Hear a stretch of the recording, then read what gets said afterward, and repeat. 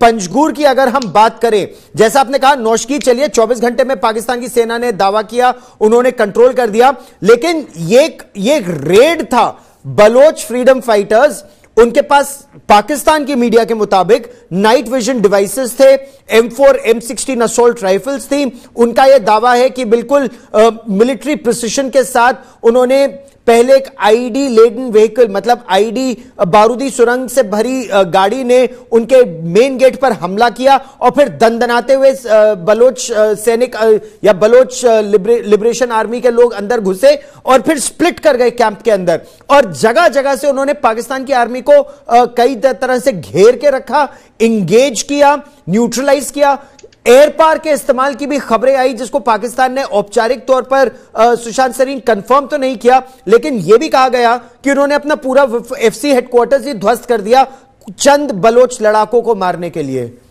सुशांत सरीन। बिल्कुल, देखिए गौरव, पाकिस्तान की जो दुर्दशा है ना, उसमें पाकिस्तान का जो मेन स्ट्रीम मीडिया है, उसमें तो आपको कोई खबर नहीं मिलेगी।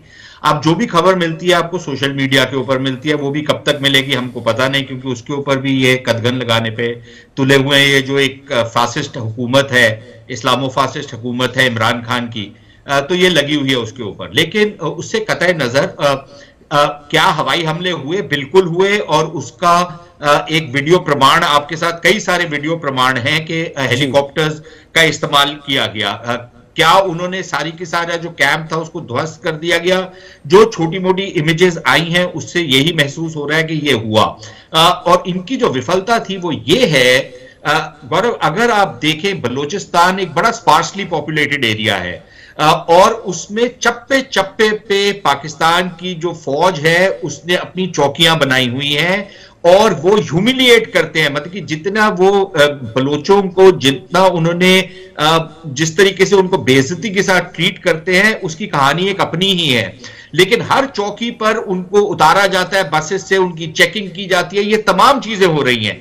इसी के करके आपने देखा होगा कि कुछ हफ़्ते पहले ग्वादर में एक बहुत बड़ा एक डेमोन्स्ट्रेशन भी हुआ प्रोटेस्ट मार्च भी हुआ। तो ये चीज़ सारे के सारे बलूचिस्तान में है। अब उसके बावजूद अगर आ, कितने? नौ तो मेरे ख्याल वहाँ पर थे आपके पंजगूर में और सात मेरे ख्याल जो ये फ्रीडम फाइटर्स थे वो नौशकी में थे, थे। अगर ये सोलह लोग असला लेकर असला और भारी तादाद तादाद में असला लेकर के वहाँ पर पहुँच करके इस तरीके का एक अटैक माउंट कर सकते हैं जिसमें व्हीकल बोन आईडी को लेकर के गेट के ऊपर पहले अटैक करके वॉक इन करते हैं। उनके पास सारा का सारा मैप है उस कैंप का सारा के सारे इतलात है उनके पास।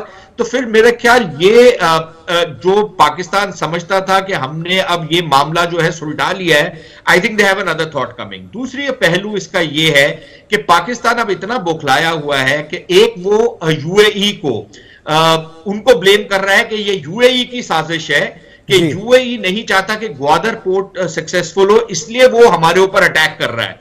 अब जिनसे पैसा लेते हैं भीख मांगते हैं उनके ऊपर ये इल्ज़ाम लगा रहे हैं। दूसरा उन्होंने इल्ज़ाम लगाया है ईरानियों के ऊपर। तीसरा वो इल्ज़ाम लगा रहे हैं अमेरिका के ऊपर। भारत तो हरदम ही इल्ज़ाम के घेरे में होता है। लेकिन अपने जो इनके गलतियाँ हैं जो इनके जर्नैल वहाँ पर बैठ के पापा जॉन के पिज्जा के फ्रेंचाइज बनाते हैं अमेरिका में उस पर ये कभी बात नहीं करेंगे ये जितने पाकिस्तानी फौजी हैं। जितनी इन्होंने चोरी चकारी वहाँ पर की हुई है जो स्मगलिंग नेटवर्क से चलाते हैं पाकिस्तान की फौज के लोग अफसर और इनके जो सोल्जर्स हैं वो एक अपनी कहानी है अपने आप में। और उसके बावजूद तो फिर ये बातें होंगी। और जिस तरीके की दुर्दशा है बलोचों की जी। तो ये तो होना लाजमी है।